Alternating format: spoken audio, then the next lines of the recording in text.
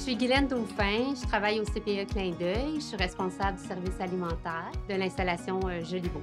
Je m'appelle Julien Poissonneau et je suis cuisinier ici à Lange-Cornu, dans la région de Lanaudière, plus précisément à l'Assomption. Aujourd'hui, on va dans un CPE où je vais rencontrer Guylaine, qui est la chef de cuisine là-bas. J'ai pas l'habitude de cuisiner pour des gens de moins de, 4 ans, donc euh, c'est quand même quelque chose qui, m'intrigue. Je suis assez excité. Il va voir que c'est petit. J'ai une petite mixette de maison pour 60 enfants, plus le personnel à nourrir. Ça, ça va peut-être euh, le surprendre. Je suis jamais allée dans une cuisine de restaurant. Ça m'inquiète un peu, mais en même temps, je trouve ça excitant. J'ai très hâte. J'ai très, très hâte.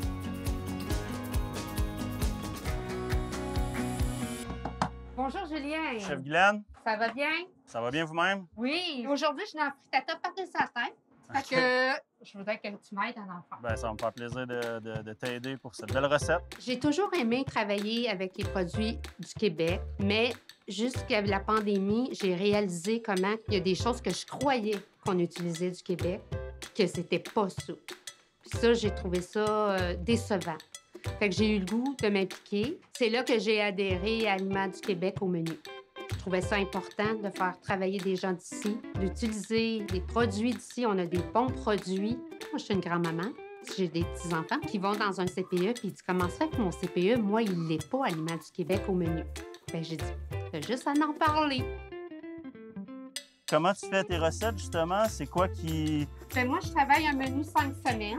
OK. Mais on change pas tout le menu aux cinq semaines. OK, vous prenez vos sure shots.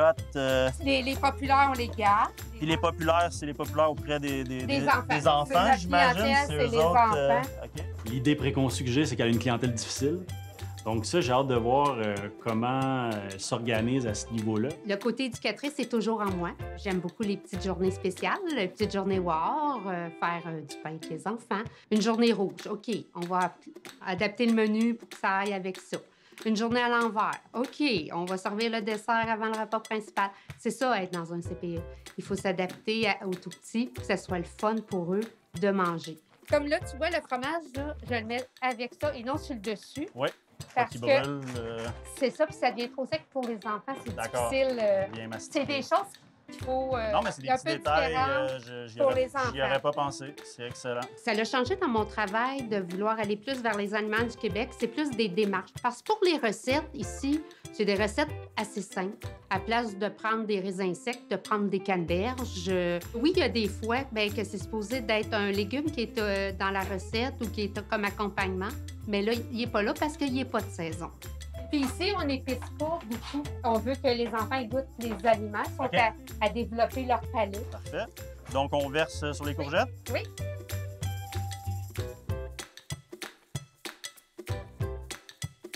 Bonjour. Salut, ça va? Tu te régales? Fait que c'est ça, ils mangent la bonne frittata avec notre pain écoute, ça, ça, amène de la joie, toute cette nourriture-là. C'est bien. Comme tu vois, ben, ça marche. Ben, ça marche, effectivement. J'ai une belle clientèle. Hein? très belle clientèle. bon appétit, les amis. Salut tout le monde, bye-bye. De voir les enfants euh, manger goulûment ce qui, avait, ce qui leur avait été préparé.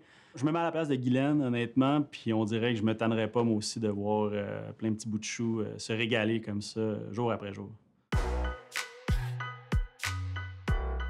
Ici, à Lange-Corneau, on cuisine euh, énormément les, produits locaux. On a la chance d'avoir une proximité avec beaucoup de, producteurs. Euh, donc, assurément, quand c'est la saison de tel ou tel produit, nous, on saute à pieds joints dans, ce qui nous est offert.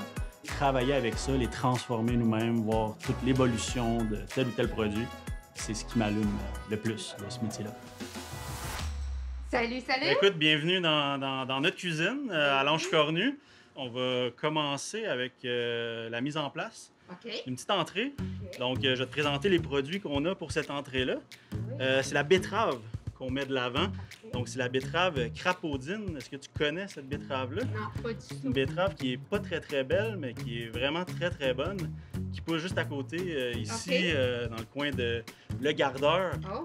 Donc, ben Glenn, pour cette petite entrée-là, je vais te faire couper les betteraves. OK. Puis pendant ce temps-là, moi, je vais faire on avait un petit za'atar.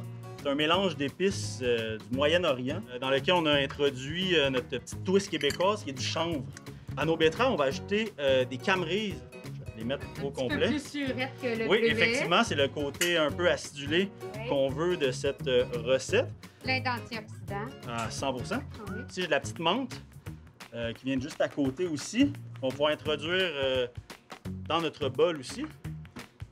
Excellent. Donc, notre base de betterave. Ensuite, on va prendre ici, qui est euh, un yogourt nature. Dans le fond, on l'a fait égoutter euh, une bonne dizaine d'heures pour obtenir un- ce qu'on appelle un labnet. Je trouve qu'ils utilisent beaucoup de produits locaux. euh, dans les restaurants, je ne savais pas que c'était pouvait être aussi facile et accessible. Très beau. Mais là, est-ce que c'est bon? Est-ce que C'est bon? Attends de me Ah. le dire. Le crémeux, on va le sucré, on va les petites épices. Mais c'est vrai que la betterave. Elle est puissante, hein? Ah, mais moi, je pense que. Ça te plaît? Oh oui. Ah bon, je suis content. Je suis, con- oui. je suis conquis. oui. Je trouve que c'est moins terreux. Effectivement. Julien, il m'a fait découvrir euh, une nouvelle betterave crapotine euh, qui est sucrée, qui est délicieuse, que c'est sûr que je vais faire découvrir à mes petits cocos. Je vois déjà une recette de gâteau que je vais pouvoir utiliser avec euh, cette betterave de ma région de Lavaltrie que je ne savais même pas. J'ai vraiment aimé l'échange. Il était très sympathique et chaleureux. Ça, doit, ça paraît dans sa cuisine. Guylaine, c'est une vraie perle. Donc, euh, ce qui nous rassemble, assurément, c'est la passion. Faire euh, sourire les gens au travers de la nourriture, c'est quelque chose qui est très, euh, qui est très puissant. Ce qui me passionne, c'est de voir au niveau de l'alimentation tout le changement. On a plein de saveurs qu'on découvre qu'on n'avait pas avant. Cette année, c'est ma dernière année. M'en vais à ma retraite. Fait que j'avais l'intention de laisser quelque chose, de laisser ma trace au CPE. Puis je, trouve ça, c'est, c'est bien.